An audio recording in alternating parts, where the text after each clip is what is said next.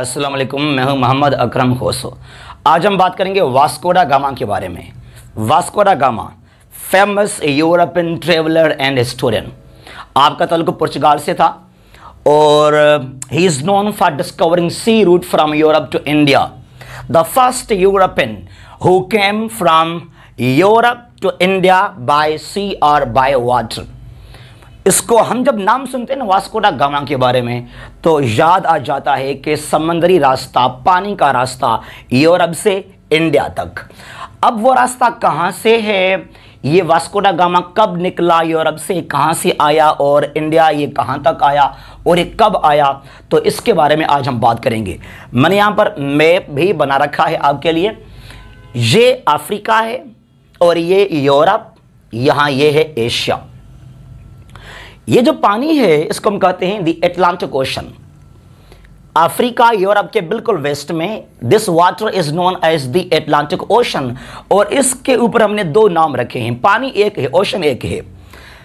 West of Africa south Atlantic ocean west of Europe north Atlantic ocean और ये जो पानी, इसको हम कहते हैं the Indian ocean the Indian ocean is to the south of Asia ये एशिया है ये मिडल ईस्ट है ये साउथ एशिया है ये साउथ ईस्ट एशिया है। तो ये साउथ में हमारे पास यहाँ पर है इंडियन ओशन जो कि साउथ ऑफ़ एशिया है और ईस्ट ऑफ़ अफ्रीका है। और यहाँ पर ओशन या है उसके बिल्कुल जो है आ, वेस्ट में है इंडियन ओशन। और ये एशिया के बिल्कुल ईस्ट में आ जाएगा जहाँ पर ये है पैसिफिक ओशन। ठीक है? और अब हम जानेंगे कि वास्कोडा गामा कब और कैसे इसने जो है आ, अपना जो सफ़र था उसका आगाज़ किया। याद कीजिएगा 14 1497 से आप निकले यूरोप से और इंडिया आप आए 1498 में। तो ये जो साल है इसको हम बहुत याद करते हैं। Vasco da government discovered sea route from Europe to India in 1498 ठीक है अब ये कहाँ से आया? लिसन नाउ ये पहले जो यूरोपियन कंट्रीज़ के लोग थे, वो यूरोप से आते थे यहाँ पर, चाइना और ये इंडिया ये इंडिया यहाँ तक, बाय लैंड एरिया। उनको पता नहीं था कि पानी के रास्ते, समंदरी रास्ते भी हम इंडिया तक जा सकते हैं, क्योंकि बड़ा मशहूर है मार्को पोलो, जो कि पहले आया था यहाँ पर, चाइना और इंडिया में। He came from Europe to China and India by land वो आया था ज़मीनी रास्ते से। तो पानी के ज़रिए जो पहला शख्स था यूरोप का, वो था वास्कोडा गामा। तो आप अब कहाँ से आए? लिसन नाउ ये मैंने सिर्फ़ यहाँ पर बना रखा है। ये जो है, ये स्पेन है। इसको हम कहते हैं आइबेरियन पेनसुला यहाँ पर ये पुर्तगाल है, यहाँ पर ये। दिस इज़ पुर्तगाल ठीक है? और ये यहाँ पर है स्पेन, यहाँ पर। तो यहाँ पर है capital city of Portugal Lisbon. तो आप यहाँ से स्टार्ट हो आपकी जर्मनी, लिस्बन से। Lisbon, the capital city of Portugal यहाँ पर एल मतलब लिस्बन, यहाँ से आप स्टार्ट हुए। और आपने ये सफ़र का आगाज़ किया 1497 से। उसके बाद क्या हुआ? आप यहाँ आए, ये है ये है जो है हमारे पास मैंने कहा एटलांटिक ओशन। और ये है केप वर्दे, ये केप वर्दे जो कि कंट्री है, और यहाँ से आप आगे आए, सीधा यहाँ से आप आए, यहाँ तक। ये हमारे पास है साउथ अफ्रीका यहाँ। इट इज़ साउथ अफ्रीका और ये जो टिप है, इसको हम कहते हैं केप याद कीजिएगा केप जियोग्राफी में मेप के लिहाज से वो इलाका है ज़मीनी। केप इज़ लैंड पार्ट जो कि पानी के बाहर, पानी की तरफ़ उसका जो है ना वो लाजमी हो डायरेक्शन। अब इस तरह यूँ, ये जो इलाका ये हो गया, अब इसको हम कहेंगे केप, ये वाला इलाका, ये केप हो गया, जो कि थोड़ा सा पानी से तरफ़ निकला हुआ है। तो ये हमारे पास यहाँ पर है केप ऑफ़ गुड होप। इसका नाम तो पहले नहीं था, ये सिर्फ़ केप था पहले। तो ये है केप, इसका नाम है Cape of Good Hope, near Cape Town. City of South Africa तो आप यहाँ आए, फिर ये इस इलाके में आए साउथ अफ्रीका में। और ये तो केप है जोग्राफी में मैप के लिहाज से। तो आपने इसके ऊपर नाम रखा गुड होप आपने कहा कि मुझे उम्मीद है, मुझे उम्मीद है, मुझे होप है कि यहाँ से आगे भी रास्ता पानी का है टुवर्ड्स इंडिया और साउथ एशिया तो बहरहाल, अभी आपका सफ़र यहाँ से स्टार्ट हुआ, ये वाला इलाका। ये इलाका यहाँ से यहाँ से आप निकले पुर्तगाल से, ये है केप वर्दे, और यहाँ से फिर आप आए इस तरह। यूँ सीधा यहाँ तक आप आ गए। ये हमारे पास है केप ऑफ़ गुड होप। तो यहाँ से जो है आपका सफ़र का जो है वो आगाज़ हुआ है। 1497 में ये अफ्रीका है और यहाँ पर है केप ऑफ़ गुड होप। आपने कहा कि मुझे उम्मीद है, मुझे होप है कि रास्ता यहाँ से आगे भी जाएगा टुवर्ड्स इंडिया पानी का रास्ता। तो इसीलिए इसको हम कहते हैं केप ऑफ़ गुड होप। याद कीजिएगा, दुनिया में दो फ़ेमस केप हैं। एक केप ऑफ़ गुड होप यहाँ है साउथ अफ्रीका में, दूसरा है केप ऑफ़ हॉर्न, जो कि साउथ अमेरिका के बिल्कुल साउदर्न पार्ट में जहाँ तक चिल्ली और अर्जेंटीना वहाँ पर। अच्छा उसके बाद आप यहाँ से आगे निकले। यहाँ से यूँ आए, यहाँ से यूँ आप गए। ये है मोजम्बिक यहाँ यहाँ।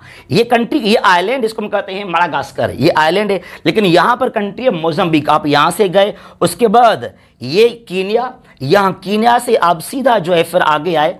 ये मोजम्बिक इसको हम कहते हैं मोजम्बिक चैनल पानी को हम कहते हैं। और इससे बाद आप यहाँ आगे आए सीधा यहाँ इंडिया। अब इंडिया का यहाँ मशहूर एक स्टेट है केरला ये वाला state. That is known as Kerala India का काफ़ी जो है वो आ, अच्छा स्टेट यहाँ पर है। अच्छा यहाँ जो शहर है उस शहर का नाम है कालीकट। अब आप स्टार्ट जो आपका जर्नी है वो स्टार्ट हुआ लिस्बन से। Lisbon the capital city of Portugal Lisbon से आप निकले और ये इस, इसका नाम है शहर का कालीकट। इसको हम कहते हैं कालीकट। काली कट और ये स्टेट है इंडिया का केरला। ये जो पानी है इस पानी को या जहाँ पर कोस्टल एरिया है इसको हम कहते हैं मलाबारा कोस्ट।